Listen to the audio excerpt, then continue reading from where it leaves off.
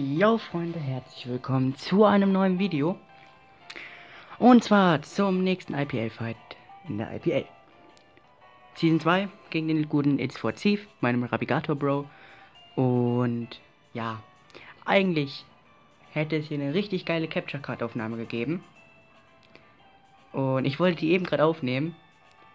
Und dann habe ich gesehen, dass der gute Fight, der mir eine Capture Card Aufnahme gemacht hat, die schon runtergetan, also halt entfernt hat. Und somit konnte ich leider das nicht mehr aufnehmen und somit muss ich jetzt wieder hier so ähm, das aufnehmen. Aber ist auch egal. Trotzdem nochmal vielen Dank, dass du dir die äh, Mühe gemacht hast, mir eine Capture Card Aufnahme zu machen. Kannst ja auch nicht wissen, dass ich jetzt erst anfange, die aufzunehmen, ne? Ähm, ich habe mit dabei Empoleon, Aerodactyl, Vulcanian, Katagami, Sorg, also Caradonis und Empoleon 2. Thief, ähm, X-War, Travigator, Azumare, Wheelie, Heatran und Mega Alakazam. Und ich würde auch sagen, wir beginnen schon gleich, denn ich muss nicht sputen.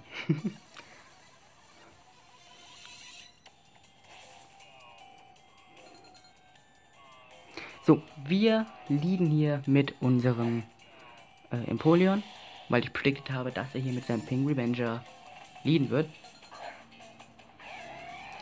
Und er geht jetzt auch sofort, wie wir sehen, auf den Verhöhner, weil er dachte, wir gehen hier auf die Rocks. Aber tatsächlich habe ich mir gedacht, vielleicht geht er ja auch raus oder so. Und ich habe auch keine Rocks drauf. Ich habe nur den Defog. Gehe hier also auf den Scald. Dieser macht hier sehr, sehr guten Schaden eigentlich. Bekommt hier den Burn. Und er kann sich halt jetzt noch ein bisschen mit dem Giftschleim heilen. Und ja, er kriegt jetzt ja noch mal ein bisschen Burn. Und ich gehe jetzt hier auf die Lichtkanone, weil ich den Wheelie Switch predicted habe. Und er geht hier raus, ganz klar, und geht hier auf sein Ibims 1 Brutal. Ähm, und ich kann hier halt ganz, ganz safe jetzt hier auf die Lichtkanone gehen, die dieses Azumarill eigentlich rausnehmen sollte. Was glaube ich? Die es halt guten Schaden machen sollte. Und jetzt kann ich hier wieder rausgehen, weil ich möchte nicht so gerne meine Schukebeere verlieren. Gehe also meine zwei Lümmel und ich bin da auf das Viech gespeedcreept mit der Schlammwoge. Hier schlägt irgendwie mein Specs ab. War eigentlich gar nicht mehr so schlimm. Kann jetzt hier, wie gesagt, auf die Schlammwoge gehen. Er geht hier raus, geht in Double Green. Ähm, hat wahrscheinlich keine Ahnung was predicted. Auf jeden Fall gehe ich hier auf die Schlammwoge. Diese macht relativ guten Schaden. Ähm, wahrscheinlich speziell defensiv. Denke ich jetzt einfach mal. Und meine zwei Lümmel gehen jetzt nochmal auf die Erdkräfte, weil ich die Heatran Switch predicted habe. Ähm, und er kann jetzt hier lo rockig, locker auf die Rocks gehen. Kann die hier drauflegen. Ich kann hier auf den Flamethrower gehen. Und kann diesen Double Dream bisschen Schaden machen. Äh, ich habe hier übrigens Schlammwurf, Flammenwurf, Erdkräfte und Steam Eruption drauf. Er geht jetzt hier aufs Toxin. War relativ lustig. Und ich habe hier predicted, dass er auf die also auf Heatran geht, weil er denkt, ich mache jetzt mal Flammenwurf. Was aber ziemlich dumm von meiner Seite aus war und ich gehe auf die Erdkräfte. Diese machen jetzt nicht allzu viel. Killen sogar gar nicht. Er geht hier auf die Recover. Kann sich hier wieder voll heilen. Also halt fast voll heilen. Und ja. Jetzt muss ich hier ein bisschen was machen. Denn so ein halbvolles Willi will man nicht gerne auf dem Feld haben. Toxin kommt, ganz klar. Wir müssen jetzt hier an der Stelle raus.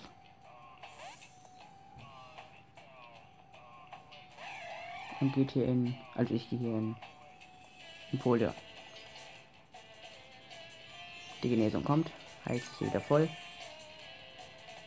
Und ich kann jetzt hier natürlich auf die Lichtkanone gehen, die dieses Double Green eigentlich relativ gut Schaden machen sollten. Und er geht hier in Guru. Ich gehe auf Defog. Gehe auf Defog. Hat er wahrscheinlich predicted oder so. Ich gehe auf Defog, damit wir halt die Rocks wegbekommen. Und somit sind die Rocks jetzt weg. Ich kann jetzt hier rausgehen, weil ich möchte hier nicht gern drinnen bleiben.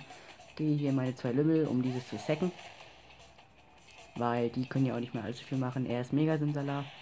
Ähm, Und kann jetzt hier mit einer Psychokinese unser Volcanion rausnehmen. Hm. Hat jetzt hier halt, halt zwar H2O Absorber, aber juckt uns eigentlich gar nicht mal mehr so sehr. Er kann halt jetzt in Siedewasser rein. Und er kann jetzt in Siedewasser tanken. Wow. Äh, Spukball hat er hier anscheinend nur für Latios drauf. Weil das das einzigste Pokémon, was anfällig gegen diese Attacke ist. Hätte ich vielleicht Dazzling eher gespielt, aber naja. Oder Spukball, ich weiß gar nicht. Auf jeden Fall kann ich mich hier mega entwickeln. Dachte, er geht hier vielleicht raus. Ähm, ja. Er geht hier nicht raus. Warum auch immer ich das gedacht habe, machen hier super guten Schaden, kann jetzt auf die Verfolgung gehen. Diese aber nicht killt, weil er nicht rausgeswitcht ist, aber macht trotzdem guten Schaden dafür, dass es nur eine Verfolgung ist. Hätte ich jedoch noch gar nicht gespielt, ne? ich gehe jetzt hier meinen Rapigato Pro und kann jetzt hier halt den H2O-Absorber ja, nehmen, super. und er kann jetzt halt hier auf die Psyche gehen. Diese machen hier ein bisschen und somit kann ich eigentlich mit Polygon 2 oft mit dem Discharge dieses Viech rausnehmen. Und hat eigentlich keinen richtigen Switch in Discharge, bis auf sein Guru, äh, bis auf sein Viech da. Und ich gehe jetzt hier auf die Genesung. Stimmt, hier, ja, ja. Ich gehe aber hier auf die Genesung, weil ein Fokusblast hätte mich doch schon relativ gut mitgenommen. Und ich wollte voll sein. Hat er relativ gut gemacht, switcht hier in Heatron raus, ich gehe raus in Vertic. Weil mit so wenig KP, ja, brauche ich jetzt auch nicht mehr so sehr. Und er geht hier auf den Lavasturm. Der Mist leider.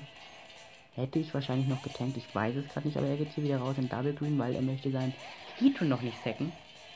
Was ziemlich schlau ist. Und ich gehe jetzt aufs Erdbeben. Und hier sehen wir spätestens, dass es ein voll speziell defensives Double Green ist. Weil der Erdbeben macht super guten Schaden.